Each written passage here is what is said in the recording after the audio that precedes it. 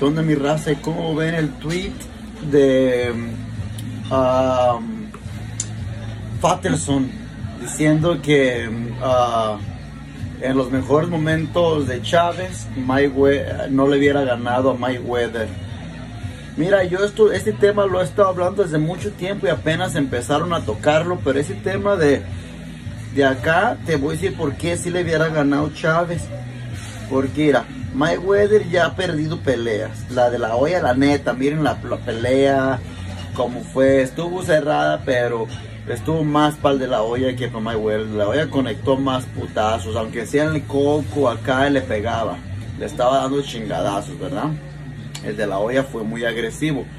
Por ejemplo, hay muchas peleas hoy que, como por ejemplo, el- la pelea del, de Lomancheco contra el Teo. Fueron seis rounds que no le pegaron a, básicamente nada a Lomancheco. Nada, nomás le tiraban y guantes y se quitaba y no le pegaron, ¿verdad?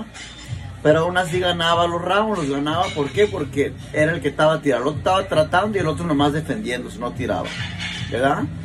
Pero imagínate la diferencia de Oscar de la Hoya con Mayweather. Oscar de la Hoya como que era, le tiraba un chingo, pero también le pegaba, le pegaba. A Maidana, Marcos Maidana, también le, le, pegó, vamos a ser, a ser honestos. Marcos Maidana le pegó sus chingadados al, al, al Floyd Mayweather, probablemente fue su peor pelea de su vida, probablemente. Lo conectó, lo, lo- le dio. O sea, eh, no, tiene muy buena defensa, pero Castillo, miren, Castillo tenía un estilo similar al de Chávez. Y miren cómo le ganó Casti- Castillo. Y Castillo, pues es bueno y todo, pero no, no era de la calidad de Chávez. El Chávez te lo hubiera agarrado, el Chávez te lo hubiera molido. Vamos a ser sinceros. Este cabrón de Faitelson, ay, Faitelson, no sé por qué estás tiri tiri. Verdad, a lo mejor este, no sé si les paguen por bios o what.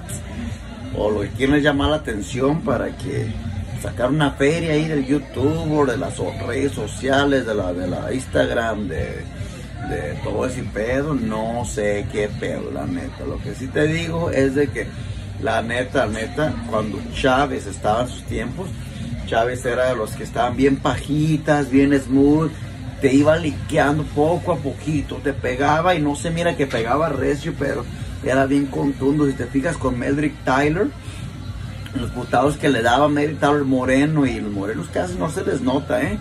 Y mira cómo lo, cómo lo traía. Y Medrick Tyler le pegaba cuánto pero así como le pegaban, nomás como que le llegaban y ya. Le llegaban y salían, le llegaban y salían porque, te fijas, Chávez no estaba tan puteado a como se miró del- lo- el número de putados por 12 rounds. Entonces, este, la, la neta, la neta, este, en cuestión boxística, así, el Mayweather es muy bueno, muy bueno para correr, muy bueno para pegar y correr, como nomás tocar, pum, y correr, tocar y correr. Pero pues, este, Chávez no era cualquiera, Chávez tenía un estilo y, y- solamente los que estuvieron con el ring en ese tiempo, la gente que, que sabe de, de boxeo, pues eh, entiende el estilo y entiende la, la diferencia de, de, pelea. Así es de que no, compadre, tú Faitelson, ya, ya, estás enfadando, hijo.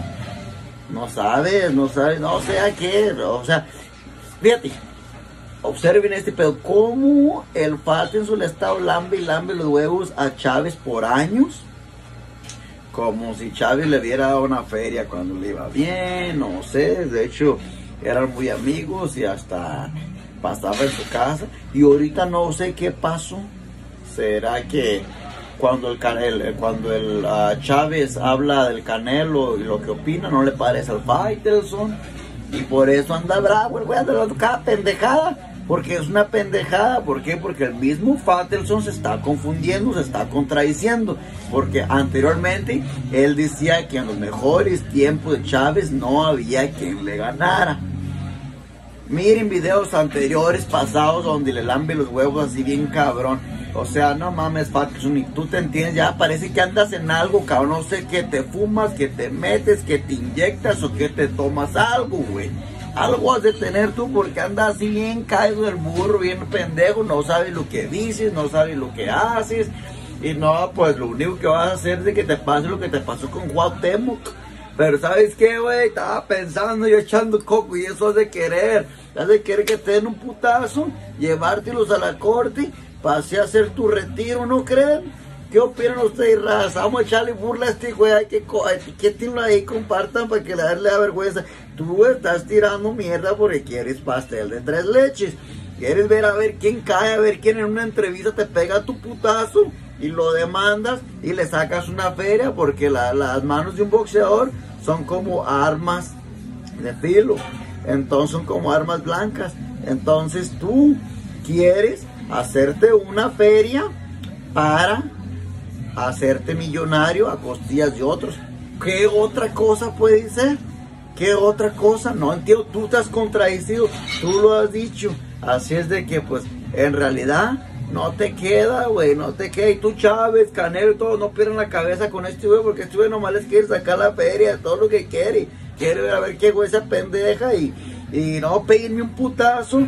Y voy los demando y le hago una feria, ¿sí o no? ¿Qué opinan, raza? Al chile, póngale al comentario.